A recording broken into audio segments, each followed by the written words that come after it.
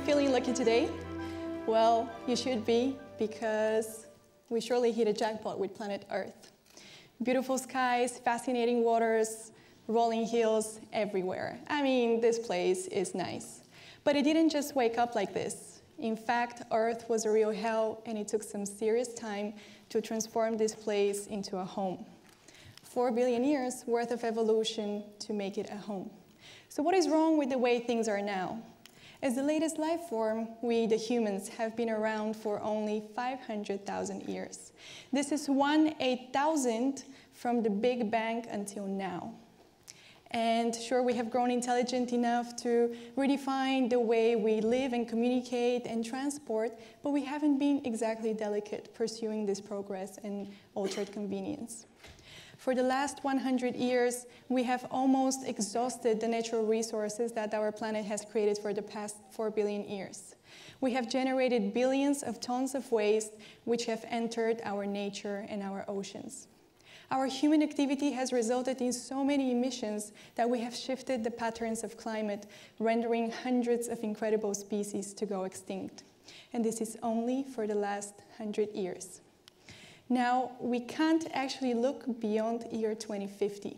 This is 30 years from now, meaning most of us would be alive to see the second worst thing to electing Donald Trump, namely the estimated collapse of the world. And with this reality in mind, surprisingly, fashion is our planet's second biggest polluter. Now, I'm not here to point fingers at fast fashion or at us, the end consumers.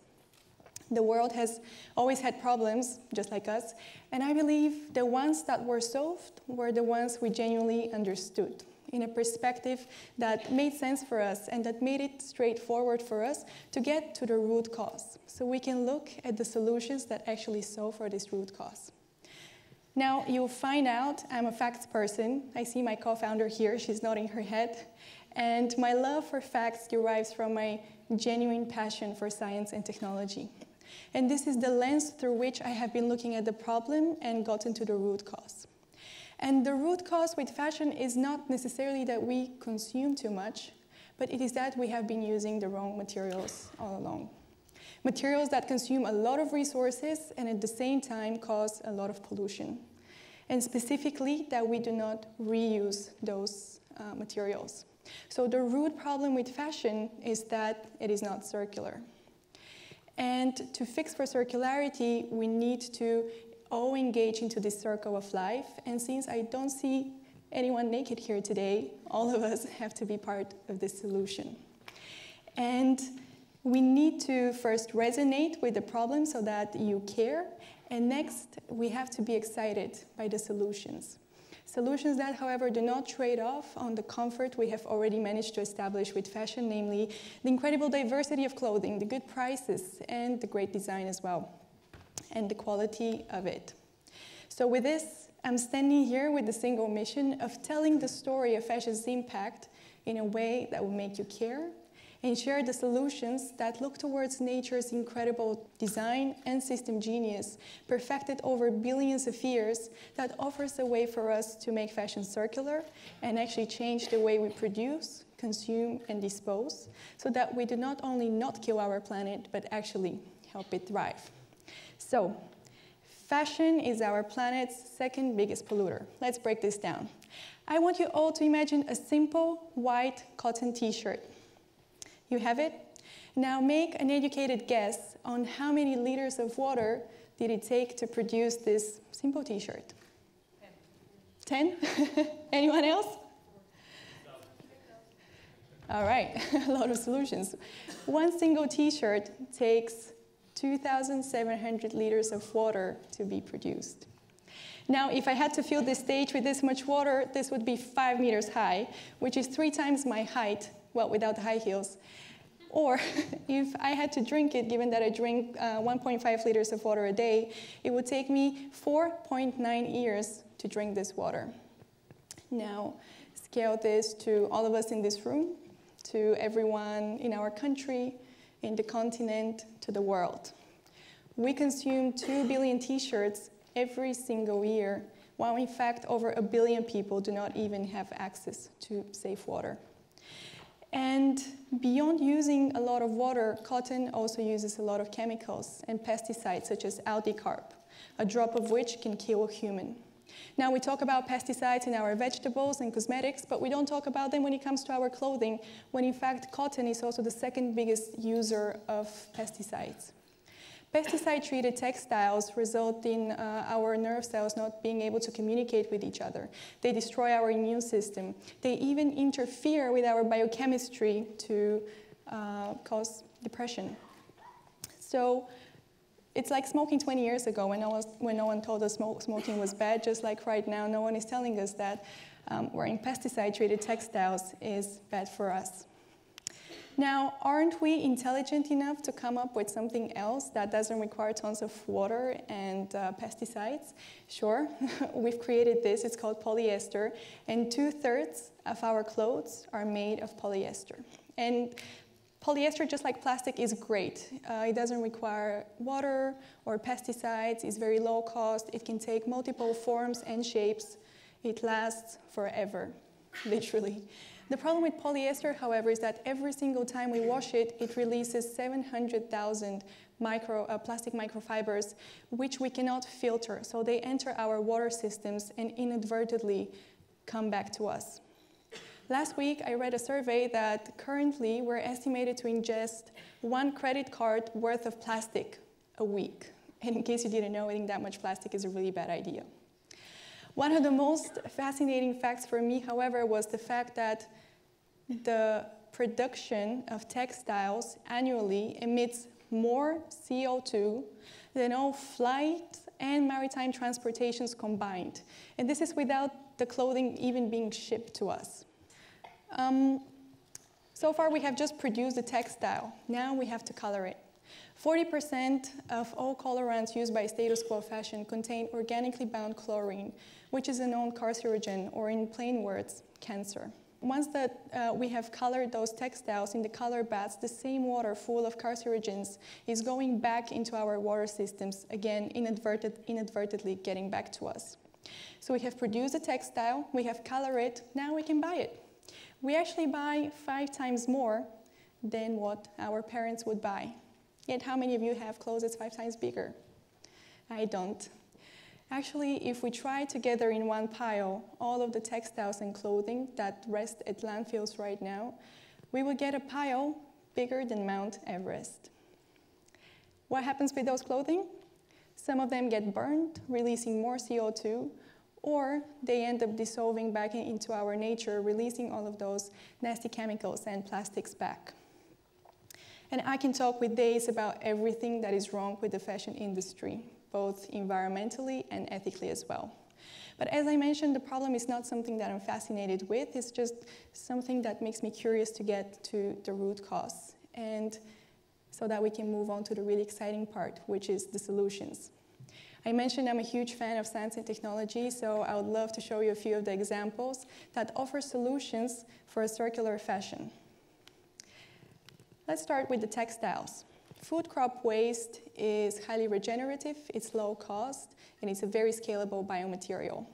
Just banana leaves, rice, sugarcane, pineapple leaves give us more than 250 million tons of fiber, which is already 2.5 times more the global fiber demand.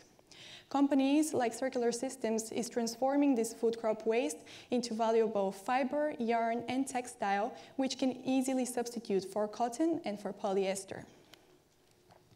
Algae are fantastic as well.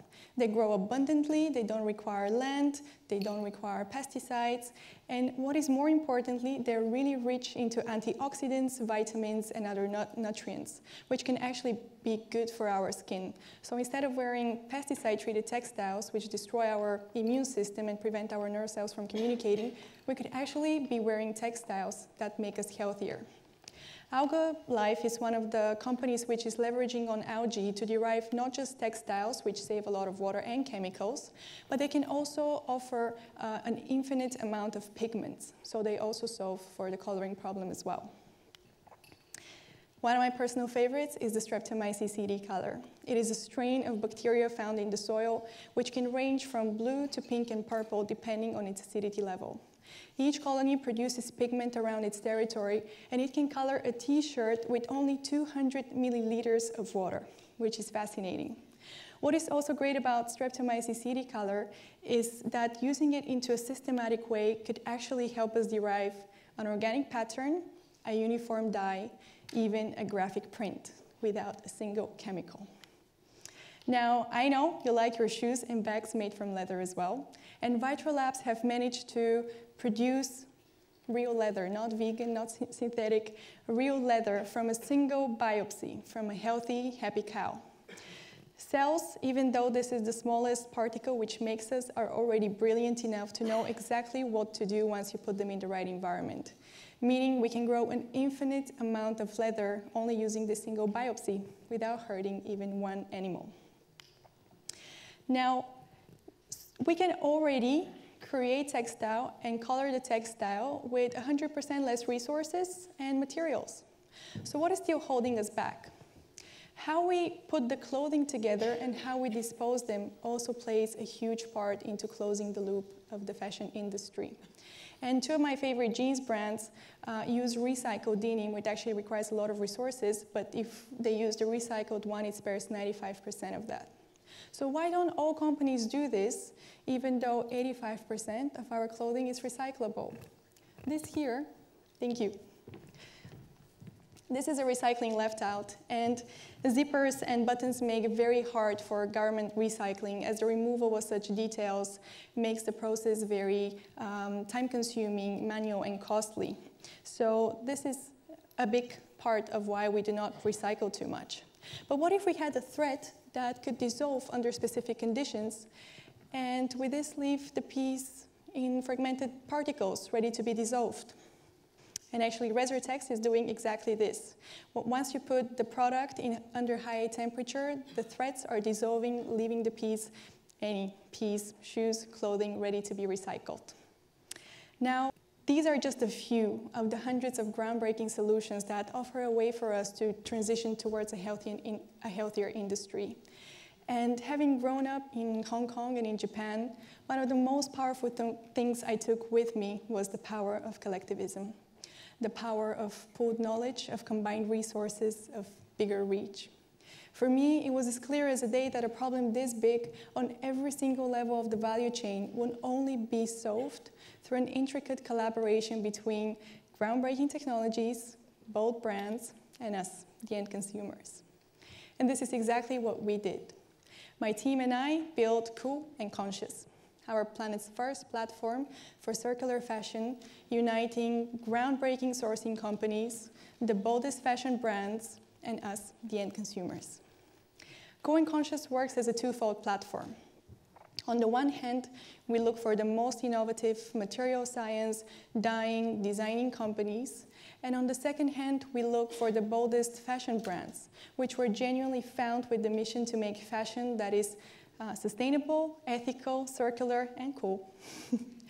Today we have more than 200 brands and through aggregating them into one place, we don't only enable them to source at a better scale, better materials, so altogether improving the circularity and driving prices down, but we also make it easy for you and me, the end customers, to shop sustainable fashion in a more seamless way.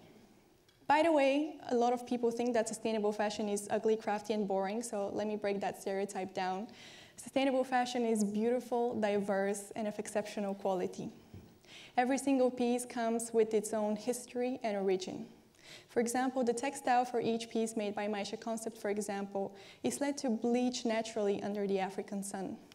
Next, it is delicately block printed by hand with dyes derived from flowers and plants. Afterwards, it is assembled by a family which has been carrying these traditions for decades. Wearing such a piece is never just an outfit. Yes, it has spared thousands of liters of water and pesticides and chemicals, but it does touch you beyond the superficial. It connects you to places and people around the world that you have never seen and that you have never been to. It actually creates value to what you wear, not just something that you would buy and throw away you would actually care for it. It creates this delicate balance between emotional attachment and graceful degradation so that one day this piece can go back into the soil, enriching it with its natural fibers, colors, and history. So, yes, we sure hit a jackpot with planet Earth. Beautiful skies, majestic waters, fascinating hills everywhere. But planet once upon a time was a real hell, just like our fashion industry is right now. We do not have billions of years to fix the fashion industry, but we do have the billions of years worth of experience, models, and processes in nature that we can look to and adopt to make our fashion circular. I do believe that knowledge is the key to caring, and that once we care, it is hard not to act. Once we act, change happens. And more than ever, our world needs this change. So now that you understand the problem in its core, I hope you would carry on caring. But more importantly, now that you know the groundbreaking solutions that can help make our world better, you would leave today caring to act. And once you act, know that you have played your part into shifting the trajectory of our world so that the next and the next and the next generations also hit the jackpot with planet Earth. So let's save the planet in style together. Thank you.